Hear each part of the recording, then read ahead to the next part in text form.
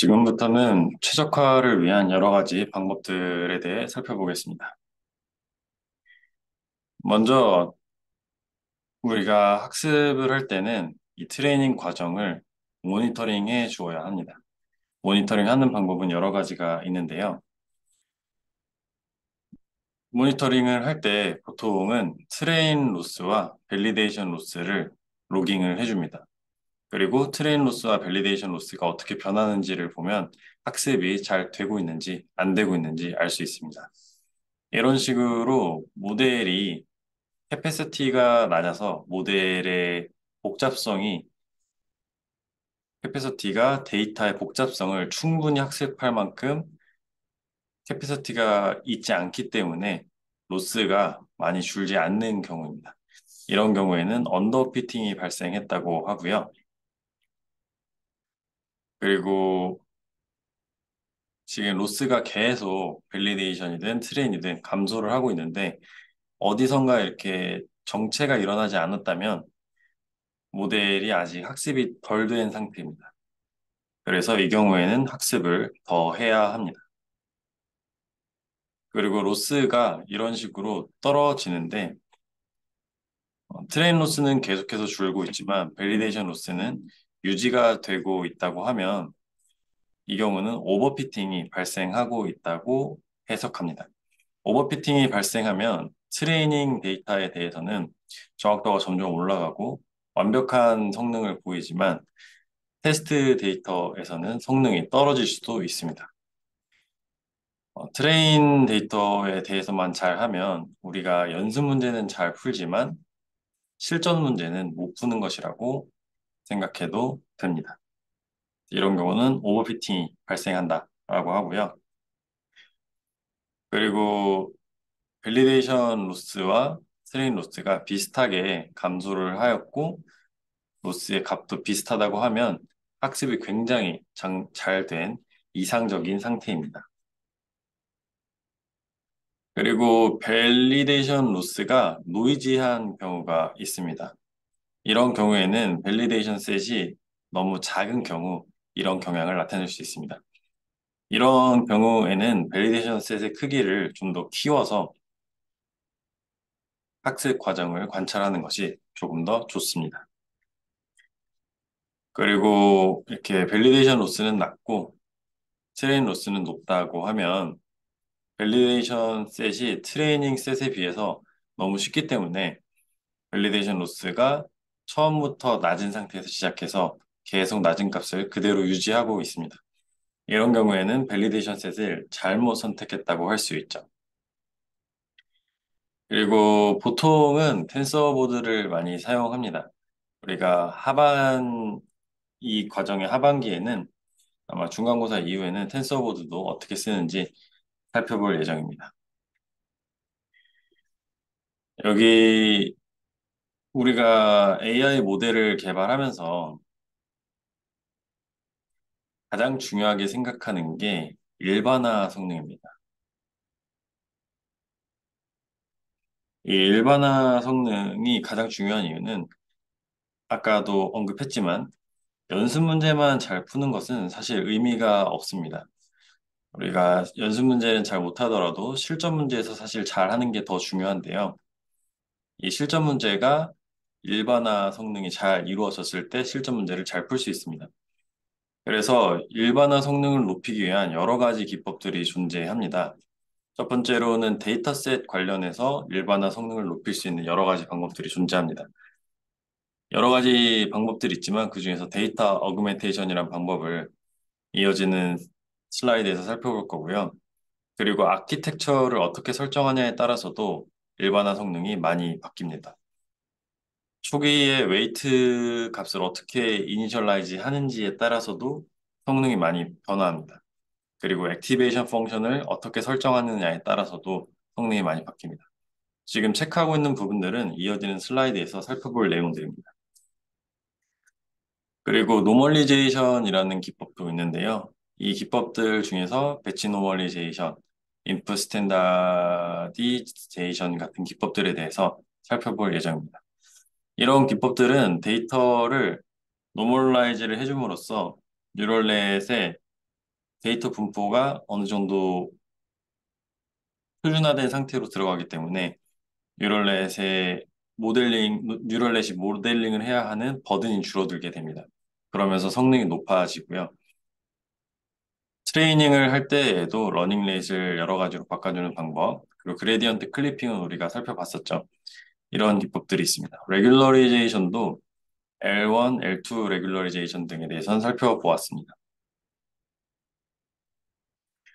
다음으로는 data augmentation의 data, data augmentation을 살펴보겠습니다. data augmentation은 다음과 같은 motivation 때문에 연구가 되었습니다. 이렇게 수달을 검색해 보면 굉장히 다양한 모습의 수달이 나옵니다. 그리고 우리의 deep neural 모델은 수달이 어떤 모양으로 있든 어떤 배경으로 있든 전부 다 잘 분석하기를 원합니다. 이 말을 다, 다르게 표현하면 DNN이 여러 가지 input variant의 variation에 대해서 invariant 하면 이상적입니다. 하지만 대부분의 클래스들은 수달만 하더라도 intra class, 클래스 내에서 큰 variation이 존재합니다. 포즈라든지 appearance라든지 그리고 또 조명 등에 따라서 다른 형태들을 나타내고 이미지상에서 다르게 나타납니다. data augmentation은 generalization 기법을 올리기 위한 기법인데요. 학습 데이터를 최대한 많이 확보하면 좋겠지만 데이터를 많이 확보하지 못하는 경우가 많습니다. 이럴 경우에 data augmentation이 하는 역할은 fake 데이터를 우리가 가지고 있는 데이터를 통해서 만들어 줍니다. 그리고 이 데이터들을 우리의 학습 set에, training set에 추가시켜 줌으로써 데이터의 양이 더 많아지는 그런 효과를 나타냅니다. 그리고 data augmentation을 했다고 하더라도 새로운 데이터가 semantic은 유지를 해야 합니다. 그리고 심지어 이렇게 간단한 operation들, translation이라든지 이렇게 위치를 옮긴다든지 돌린다든지 색깔을 좀 바꿔주든지 이런 식으로 좀 간단한 operation만 하더라도 성능을 올리는데 효과적입니다. 여러 가지 기법들이 있는데요. 그 중에서 몇 가지를 살펴보겠습니다. image cropping 기법은 오리지널 이미지를 확대하고 축소하여서 아, 축소는 하지 않겠네요. 확대하여서 이런 식으로 cropping을 해주는 기법을 의미합니다. 뭐 여긴 축소를 하기도 했네요. 이런 식으로 단어 자체가 의미하듯이 crop을 하여서 데이터를 새로 만들어주는 것을 cropping 기법이라고 합니다.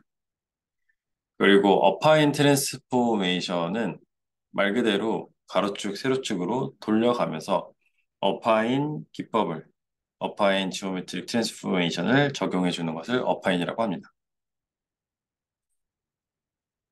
우리가 여기에 노이즈도 더해줄 수 있습니다. Gaussian blurring이라는 기법인데요. Gaussian noise라고도 할 수 있고 blurring이라도 할 수, blurring이라고도 할 수 있습니다. 사실은 Gaussian filter를 이 이미지들의 다양한 시그마 값을 가지고 적용을 시켰다고 이해해도 됩니다. 이 부분은 이미지 영상 처리 과목에서 아마 다루게 될 텐데요. CNN의 필터와 비슷한 역할을 수행합니다. CNN 필터도 네, 이 과목 후반부에서 다룰 텐데 그러한 필터를 적용하면 가우시안 필터를 적용하면 가우시안 블러링을 수행할 수 있습니다. 가우시안 필터뿐만이 아니라 가우시안 노이즈도 더해줄 수가 있습니다. 영상이 항상 깨끗한 quality로 깨끗한 화질로 들어오지 않고 이렇게 노이즈가 껴있을 수도 있습니다. 이러한 노이즈에 대해서도 robust하게 만들기 위해서 Gaussian noise를 더해줄 수 있습니다. 그리고 cutout 기법은 이미지에 이런 일부분들을 아예 잘라내고 0값을 넣어줍니다. 그러면 neural net이 일부분만 보더라도 classification이든 다른 작업이든 수행할 수 있으면 robustness, generalization 성능이 올라가겠죠. 다른 기법으로는 이미지의 contrast를 조정하는 방법도 있습니다. contrast를 조정하면 이렇게 어, 서로 대비가 바뀌게 되죠. 이미지의 픽셀들 간의 대비가 바뀌게 되는 효과가 있습니다. cloud라는 것은 날씨의 효과를 내는 것입니다. 보면 직관적으로 어떤 augmentation인지 알 수 있겠죠. 그리고 여태까지 봤던 모든 augmentation들은 전부 다 semantic을 건들지는 않습니다. 그리고 random combination이라고 아, 지금까지 다뤘던 여러 가지 기법들을 전부 다 섞어서 뭐 한 개든 두 개든 세 개든 섞어서 random하게 combination을 할 수도 있습니다. 음, 그리고 두 개의 네트워크를 비교할 때는 항상 같은 augmentation을 적용해 주어야 합니다. 그리고 데이터 augmentation도 네트워크 디자인의 한 부분이라고 생각할 수 있습니다. 학습을 할때 어, target task에 따라서 더 효과적인 데이터 augmentation들이 있을 수 있습니다. 그러한 augmentation들도 고려하여서 네트워크를 학습시키는 것은 네트워크 디자인의 일부라고 볼 수 있습니다. 그리고 보통은 dist, 데이터의 distribution을 잘 정해야 하는데 이런 부분에 대해서는 아직 이론적인 부분보다는 경험적인 부분이 더 큽니다. training time에는 random하게 양상부를 할 수도 있고요. inference time에는 이 pre, average prediction을 사용할 수도 있습니다. 여러 가지 기법들이 있죠. 그리고 Auto Augment라는 기법은 강화학습을 사용하여서 어떻게 하면 조금 더 각각의 task에 맞는 효과적인 그런 데이터 augmentation 기법을 찾을 수 있는지 연구한 기법입니다. 그래서 사실 지금은 이제 deep auto augmentation이라고 이 기법보다 더 발전된 그런 기법들도 있습니다. 이런 기법들을 사용하면 네트워크의 효, 성능을 데이터를 더 확보하지 않더라도 성능을 올릴 수가 있게 됩니다. 다음으로는 데이터 preprocessing에 대해서 살펴보겠습니다. 어, 데이터 pre, preprocessing은 일단 positive input들에 대해서 어떤 일들이 생기는지 살펴보겠습니다. gradient가 이러한 경우에는 loss를 G로 일단 이 activation function으로 미분하고 그리고 이 G를 X에 대해서 미분하고 X를 곱해준 게 이 미분값이 되게 됩니다. 어, 이 값들은 전부 다 이제 positive가 되게 되고요. 그러면 모든 gradient들이 같은 sign을 가지게 됩니다. 이 말은 네트워크의 후반부에 갈수록 만약에 이 activation function이든 데이터의 분포든 데이터가 만약에 positive하게만 분, 분포가 되어 있다면 gradient의 방향성이 이런 식으로 고정이 되기 때문에 실제로 optimal한 weight들이 있는 영역으로 넘어가지 못하게 되는 단점이 존재하게 됩니다. 그래서 input 데이터를 적절하게 distribution을 바꿔줌으로써 업데이트가 잘 일어나고 parameter를 최적의 parameter를 찾을 수 있도록 해야 합니다. 다시 한번 여기서 강조를 해보면 인, gradient descent든 SGD든 다른 optimization을 할 때 왜 우리가 input을 normalize 해 주어야 할까요? 이 normalization, standardization 같은 경우에는 input에서 평균을 빼주고 분산으로 나누어서 zero mean 그리고 unit variance 1, 1이죠. 1을 갖는 분포로 우리가 보통 표준화를 진행을 해주는데요. 앞에서도 봤지만 이런 식으로 W2 방향으로 넓게 퍼져 있고 W1 방향으로 좁게 퍼져 있으면 gradient를 업데이트하는 과정에서 gradient를 이용해서 업데이트하는 과정에서 jittering 같은 여러 가지 원치 않는 그런 행동이 나타날 수 있습니다. 하지만 W1 방향과 W2 방향으로 preprocessing을 통해서 stan 표준화를 잘 이루었다면 X1과 X2의 스케일이 비슷하기 때문에 optimization도 훨씬 빨리 될 수 있습니다. 이러한 이유 때문에 우리가 input 데이터를 normalize 해주고요. 이런 것을 covariate shift, covariate shift라고도 합니다. training은 데이터들이 전부 비슷하게 분포되어 있다고 가정하고 있습니다. 이 말은 다시 말하면 mini batch들이 들어왔을 때 대부분 similar한 그런 distribution을 가졌다고 정, 가정을 하는 것인데요. 실제로는 mini batch들마다 이런 식으로 distribution, 데이터의 distribution이 다를 수 있습니다. 이런 것을 covariate shift라고도 하고요. covariate shift라고도 합니다.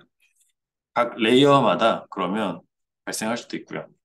그래서 인풋의 분포가 계속 바뀌게 되면 네트워크가 여러 인풋에 대해서 로버스트하게 학습이 되어야 하는데 이런 과정은 잠시 전에 언급했던 것처럼 네트워크에게 버든을 더 많이 씌워줍니다. 그렇기 때문에 학습이 느려질 수밖에 없고요. 그래서 시프트가 클 수도 있기 때문에 트레이닝을 굉장히 나쁘게 만들 수도 있어서 이런 부분을 통일시켜 주는 과정이 data preprocessing입니다. 그러면 구체적으로 이것이 어떤 것이냐? 모든 batch들을 표준적인 위치로 옮겨주는 겁니다. 그러면 어디로 옮겨야 하냐? 이 어디로를 정하기 위해서는 보통 two-step process를 따릅니다. 첫 번째 프로세스는 모든 batch를 전부 다 zero mean과 unit standard deviation을 갖도록 합니다. 이렇게 하면 covariate shift가 사라지게 되고요. 그래서 전부 다 이렇게 옮겨줍니다. 그 이후에 전체 데이터를 appropriate한 location으로 옮겨줍니다. 그러니까 항상 zero mean과 unit variance가 좋은 것만은 아닙니다. 네트워크가 어느 위치에 갔을 때 성능이 최적화가 되고 최고의 성능을 내는 optimal한 성능을 내는지 이러한 부분도 학습할 수 있습니다. 이런 것을 batch normalization이라고 합니다. 그래서 일단 0의 위치로 전부 다 normalize를 해주고요. 그리고 여기가 최적의 위치가 아닐 수도 있으니까 최적의 위치를 찾아서 그 위치로 전체 데이터를 옮겨줍니다. 이걸 좀 더 식으로 찾아 설명을 해보면 어떤 데이터들이 들어왔을 때 데이터의 평균을 이런 식으로 계산할 수 있습니다. 평균은 구하기 쉽죠. 그러면 zero-centered가 됐다는 것은 원래는 데이터의 평균 값이 예를 들어서 2.5, 뭐, 2 정도 수준이었는데 0의 위치로 오게 됩니다. 그리고 normalization을 하게 되면 분산으로 나누어져서 분포가 네, 여기서는 좀 드라마틱하게 나오진 않았는데 어쨌든 더 멀리 퍼져 있던 게 조금 더 좁게 퍼지게 되죠. 이런 식으로 스케일이나 디, dispersion 등을 조절을 해줍니다. normalization이라고 하죠. 그리고 decorrelation은 covariance matrix의 eigenvector들을 곱해줘서 이제 correlation을 없애주는 거고요. whitening을 한다는 것은 이제 square root of eigenvalue로 나눠주면 이런 식으로 whitening이 되게 됩니다. 그래서 original data를 zero center로 만들어 주고요. 그래서 기존에 있던 연구들은 어떤 data preprocessing을 거치냐면요. AlexNet은 데이터 전체에 대해서 mean image를 구합니다.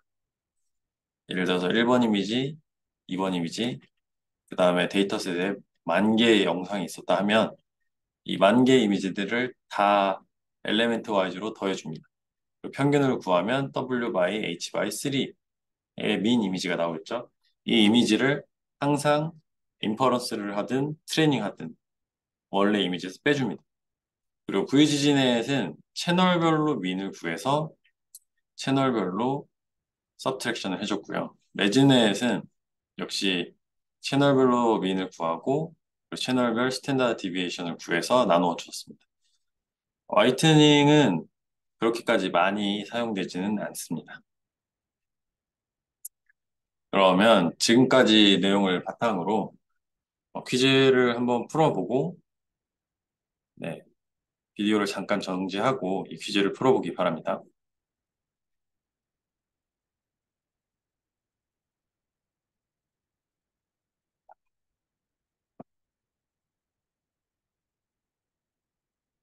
풀어봤을 거라 생각하고 같이 답을 맞춰보겠습니다.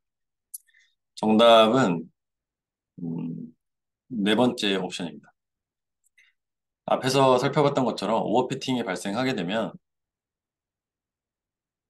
training loss는 줄어드는데 validation loss는 줄다가 올라갈 수도 있습니다. 왜냐하면 overfitting이 됐기 때문에 generalization 성능이 떨어져서 training loss, validation loss validation loss는 오히려 증가할 수도 있습니다. 그리고 AI 모델들은 input의 variance들에 대해서 invariant 해야 합니다. preprocessing은 input data가 어, 데이, gradient를 잘 퍼질 수 있도록 도와줍니다. gradient가 한 방향으로 모여서 학습이 저 학습의 성능이 저해되는 것을 막아줍니다. data augmentation은 simple한 operation만 하더라도 generalization 성능이 높아지는 경우가 많습니다. 그러면 여기에서 이제 들 수 있는 질문은 input은 그러면 normalize를 해 주었는데 그러면 첫 번째 hidden layer만 영향을 받고 다른 hidden layer들은 이득을 못 보는 것이 아니냐라는 질문을 던질 수 있습니다. 이러한 질문을 적절하게 해결한 논문이 batch normalization이라는 논문입니다.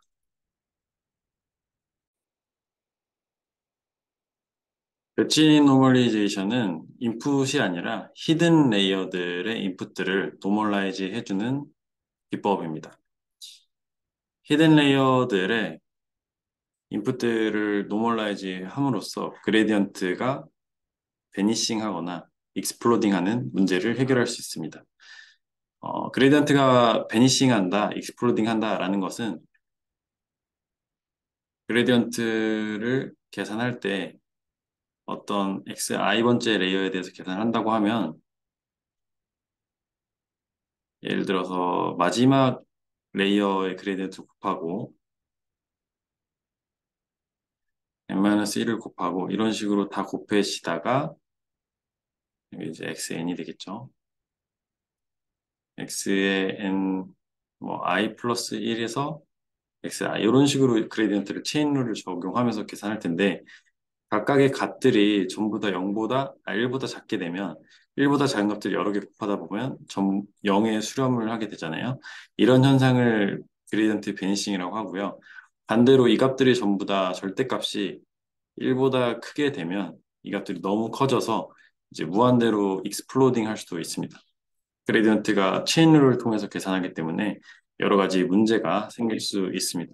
그런데 hidden layer들에 대해서도 normalization을 수행을 해주게 되면 학습의 stability가 향상되고 convergence rate도 향상이 됩니다.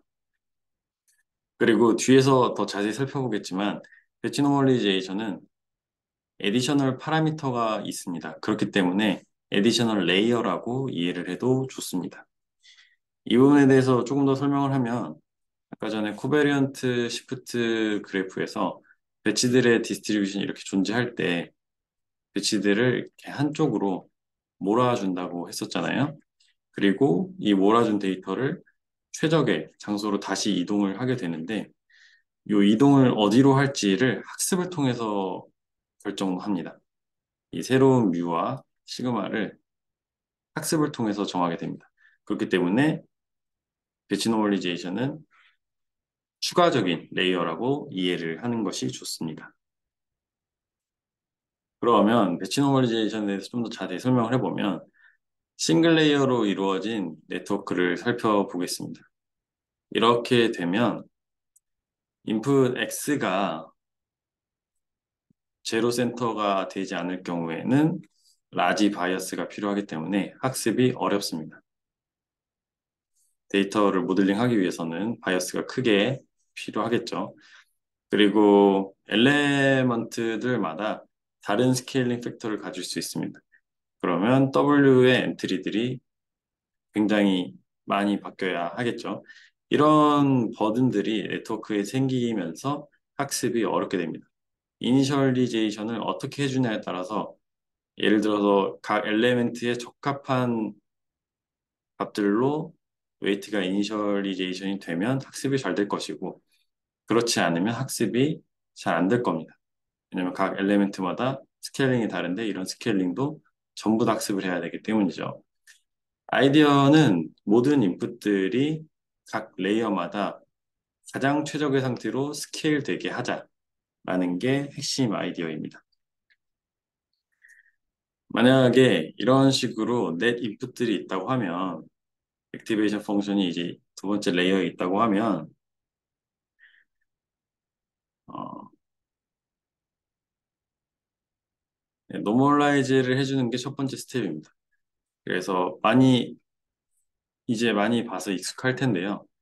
이 인풋을 예를 들어서 여기 이 액티베이션에 들어가기 전 그러니까 Z1, 2를 액티베이션 통, 통과시키는 거죠. 그래서 Z1, 2는 요 A1, 1과 A1, 2, 1과 A3, 1 앞에 것들이 전부 다 fully connected 돼서 A1, 2가 계산이 되겠죠. 근데 그 계산하기 전에 이 값들을 W, 뭐 2, 1, W, 그, 아, 1, 1이라 해야겠네요. 1, 1, 1, 2 그리고 여기도 layer를 이렇게 표현해주면 2라고 그 다음에 W, 1, 3, 두 번째 layer 이런 식으로 이제 더하게 될 겁니다. W1, 5, 두 번째 layer, A5, 첫 번째 layer. 이렇게 다 곱해준 weighted sum이 Z1이고 이 Z1, 2를 어떤 activation 함수를 통과시킨 것이 A1, 2가 됩니다.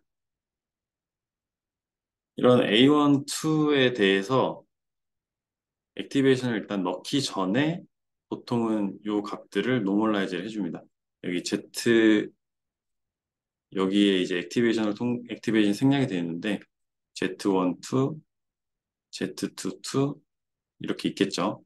그래서 그 Z들에 대해서 평균을 구해줍니다. 그리고 분산도 구해주고 각각의 Z들을 normalize 해줍니다. 그리고 여기도 나와 있지만 이 numerical stability를 항상 기억해야 되죠. 어떤 나누는 값이 있으면 항상 numerical stability를 위해서 이런 epsilon을 더해줍니다. 그리고 이 Z를 바로 activation 넣는 게 아니라 scale factor들을 학습을 시킵니다. 이 값들도 데이터를 통해서 학습이 되는 그런 파라미터들입니다. 아까 그림에서처럼 이렇게 분포가 배치될 분포가 여러 개 있으면 가운데로 모으고 그리고 새로운 위치로 옮겨주는 역할을 이 가마와 베타가 해주게 됩니다. 이 베타는 새로운 민값을 결정하고 감마는 스프레드, 월 스케일을 결정하게 되죠.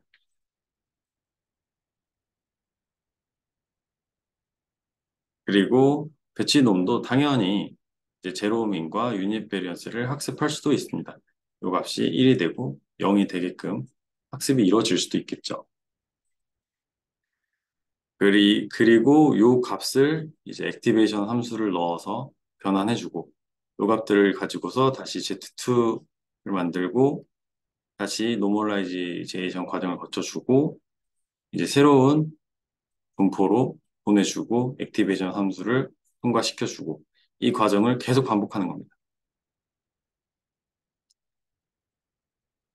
그리고 이런 파라미터는 이제 바이어스가 없어도 되게 만들어줍니다. 이게 바이어스 역할을 하기 때문에. 그리고 여기서 하나 기억할 점은 batch norm의 파라미터들도 벡터고요. dimension이 이제 바이어스 벡터와 같게 된다라는 점도 노트하면 좋겠습니다. 어, 배치노를 할 때, 이제 inference 할 때와 트레이닝 할 때가 다릅니다. inference 할 때는 batch로 인풋이 들어오지 않고 하나의 데이터 샘플만 들어올 수도 있습니다. 그렇게 되면 어, batch mean이나 batch variance를 계산할 수가 없잖아요. 이런 경우에 두 가지 방법을 사용할 수가 있습니다.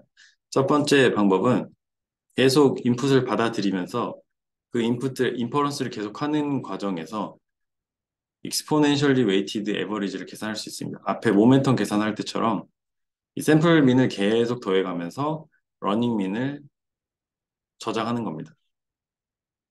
이게 첫 번째 방법이고요. batch norm을 inference 할 때 어떻게 해야 되냐. 그러니까 batch norm은 트레이닝 할 때랑 inference 할 때랑 behavior가 다르죠. train 할 때는 batch들의 mean 값과 variance 값을 사용하면 되는데 inference 할 때는 이 값을 사용할 수가 없죠. 그래서 inference 할 때는 어떻게 하냐. 이 첫 번째 방법이 exponential weighted average를 이용해서 normalize를 하는 방법이 있고요. 두 번째 방법은 이 training set의 글로벌한 mean과 variance 값을 미리 저장해 놓는 겁니다. 그래서 inference 할 때는 inference 데이터도 트레이닝 데이터와 비슷한 분포를 가지고 있을 것이다 라고 가정을 하고 이 mean과 variance를 이용하는 방법이 있습니다. 이 방법을 이용하면 계속 새롭게 mean값과 variance 값을 계산하지 않아도 되겠죠. 한번 저장을 해놨으니까. 그리고 batch norm이 과연 그러면 covariate shift를 없애주느냐, internal covariate shift를 없애주느냐, 이 부분에 대해서는 사실 조금 논란이 있습니다. covariate shift라는 것은 앞에서 얘기했던 것처럼 input distribution이 바뀌는 것, batch마다 바뀌고 들어오는 데이터 샘플마다 바뀌는 것을 의미했습니다. 그런데 batch norm이 covariate shift를 covariate shift를 확실하게 없애준다는 그런 어떤 약한 에비던스들은 있지만 정말 명확하게 보여주는 에비던스는 사실 없습니다. 그래서 마, 어, 배치 놈이 각 레이어들이 좀 더 학습이 잘 되도록 도와주는 정도가 아니냐라는 의견도 있습니다. 여러 가지 논문들이 있는데요. How does batch normalization help optimization? 이런 논문도 있고요. 뭐 굉장히 다양한 논문들이 있습니다. 그리고 batch norm을 하게 되면 인풋들이 normalize가 되기 때문에 learning rate를 더 크게 사용할 수가 있습니다. 그러면 학습도 더 빠르게 이루어질 수 있다라는 거죠. 그리고 배치놈이 코베리언 쉬프트를 없애냐 마냐에 대해서는 사실 조금 의견이 분분합니다. 그래서 다양한 연구가 아직도 이루어지고 있고요. 여러 가지 논문들이 있습니다. 그래서 좀 더 관심이 있, 는 분들은 참조해 봐도 좋겠습니다. 네, 역시 여러 가지 논문들이 계속 나오고 있고요. 어, batch norm을 다르게 적용할 수도 있습니다. 지금까지 얘기했던 부분은 net input을 계산하고 batch norm을 적용한 다음에 batch norm이라는 것이 mean값과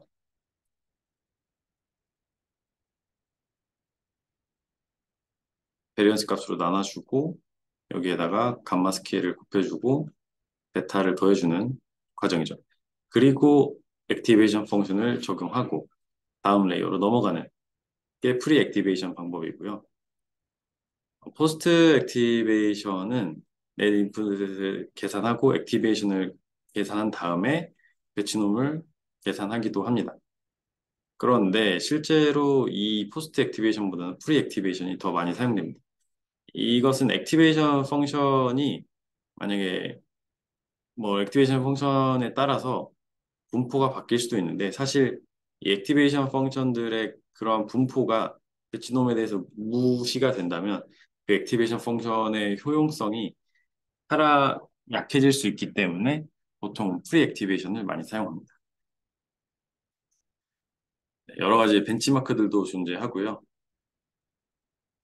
pre-activation 하냐 혹은 post-activation 하냐에 따라서 성능이 어떻게 변하냐 이런 연구들도 있습니다. 그리고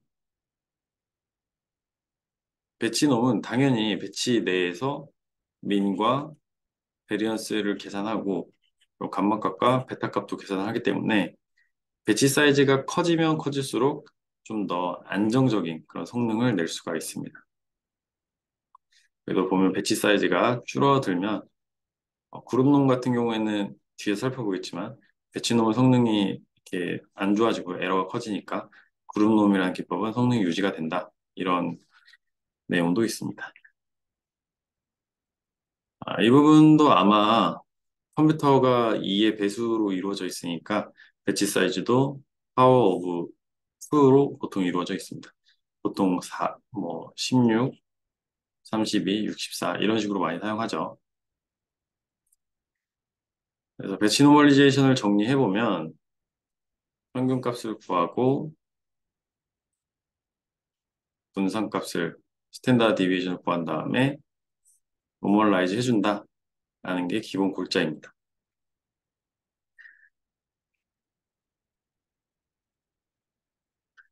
어, 그런데 이것도 이제 어, 문제가 될 수도 있죠. 제로민과 유닛 베리언스가 좀 만족하기 어려운 그런 거면 어떡하냐? 이랬을 때 이제 감마와 베타를 이용해서 어, 계산을 할 수가 있죠. 그리고 테스트 타임 때는 앞에서 얘기했던 것처럼 mean값과 이 variance 값이 없는데 그러면 이 미니 batch에서는 이 값을 테스트할 때 계산할 수 없죠. 그래서 아까 얘기했던 것처럼 테스트 타임에는 배치놈이 이제 리니어한 오퍼레이션이 되고 그리고 앞에 있는 fully connected 혹은 conv layer와 합쳐질 수도 있습니다.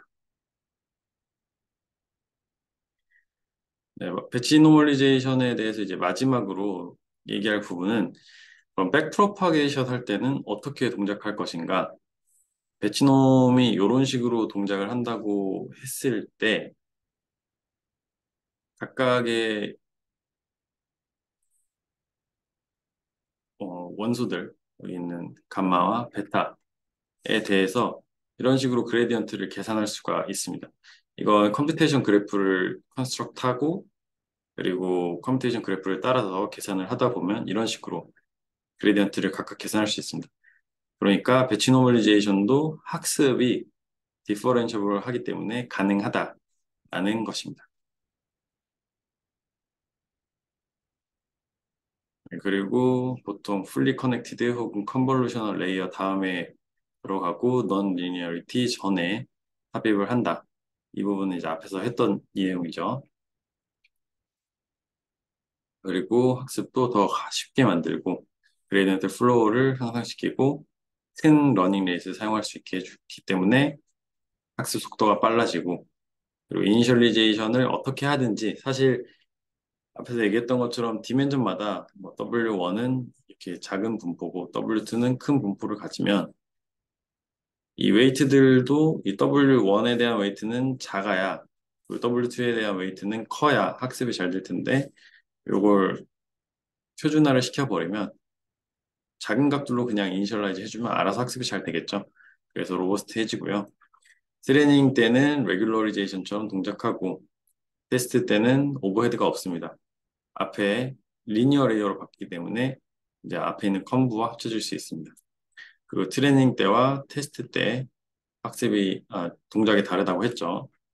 그래서 이 부분이 버그를 낼 수도 있습니다. 트레이닝 할 때는 on the fly로 계산하는 mean 값과 variance 값을 이용하는데 반면에 testing 할 때는 저장해 놓은 값을 쓰거나 running average를 써야 되죠. ConvNet은 그러면 batch normalization 어떻게 적용하냐? fully connected layer 같은 경우에는 인풋이 n 곱하기 d 형태로 되어 있습니다. d라는 것은 layer의 dimension이죠. n은 데이터 샘플의 개수입니다. 그러면 이 n에 대해서 평균을 취하기 때문에 mean과 variance, 감마 베타 값은 1 by d의 형태가 됩니다. 그러니까 각각의 데이터들에 대해서 빼주고 곱해주고 더해주는 형태가 되는데요. convolution batch normalization 할 때 채널을 냅두고 이 N 방향과 HW 방향으로 평균과 분산을 계산해 줍니다. 이렇게 하면 이제 뮤와 시그마, 감마와 베타의 dimension이 1 by C by 1 by 1이 되겠죠. 이런 식으로 계산을 해줄 수가 있습니다. convolution 할 때는 단순히 N 방향으로만 하는 게 아니라 H 방향과 W 방향으로 해준다 라는 것을 기억하면 됩니다. 그리고 이제 batch normalization의 다른 버전으로 layer normalization도 있습니다. layer normalization은 어, layer 방향으로 이제 convol 어, normalization 해주는 건데요. 이 뒤에서 좀 더 그림을 통해 자세히 설명할 텐데 normalize를 할 때 각각의 샘플에 대해서 구하는 게 아니라 이 윙과 시그마를 그 데이터의 각각의 그 dimension으로 평균을 내게 됩니다. 그래서 각각의 데이터의 고유한 특성들이 유지되고 layer별로 좀 normalization이 되는 거죠. 그리고 instance normalization은 instance 내에서 normalization 하는 겁니다. 여기도 보면 이제 n이 이렇게 유지가 되고 각각 instance를 h 방향과 a, w 방향으로 normalization 해주는 겁니다. 앞에 것과 차이가 있으면 차이가 여기는 이제 1 by c by 1 by 1인데 여기는 n by c by 1 by 1이죠. 이 dimension이 살아있습니다. 이게 instance normalization이고요. 그림으로 보면 batch norm은 이렇게 n 방향으로 평균을 내주고 layer normalization은 이렇게 채널 방향으로 평균을 내주고 instance norm은 이렇게 한 방향으로 각 데이터마다 normalization을 해주는 거고요. 그룹 norm은 이제 batch norm과 instance norm을 이제 layer norm을 일반화 시킨 겁니다. 그 그림으로 다시 보면 이렇게 좀 n개의 데이터가 있을 때 n by h by w by c가 1, 1, 1 by c로 바뀌게 되고 layer norm 같은 경우에는 이런 식으로 데이터가 들어왔을 때 n개의 데이터가 있죠. 이 색깔을 좀 보시면 될 것 같습니다. n by h by w by c가 n by 1, 1, 1으로 된다. 이게 layer norm이고요. instance norm 같은 경우에는 n by h by w by c가 instance별로 normalize 하기 때문에 HW 방향으로 normalization 해주고요. 여기도 색깔을 보시면 됩니다. 그룹 norm은 이제 G가 1일 때 이 색깔 그룹을 지어주는 겁니다. G가 1일 때는 layer norm이 되고 G가 C일 때는 이제 instance norm이 되는 이런 식으로 normalization 테크닉을 generalize 한 것이다 라고 생각하면 되겠습니다. 그러면 지금까지 얘기한 내용에 대해서 batch normalization에 대해서 어, 생각을 해보고 문제를 같이 풀어보겠습니다.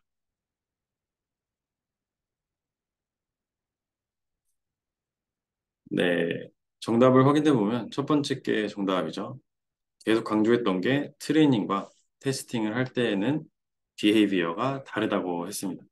batch norm을 하게 되면 트레이닝 과정이 여러 가지 hyper parameter, 이 learning rate이라든지 여러 가지 등에 대해서 robust하게 되고 성능도 올라가게 됩니다.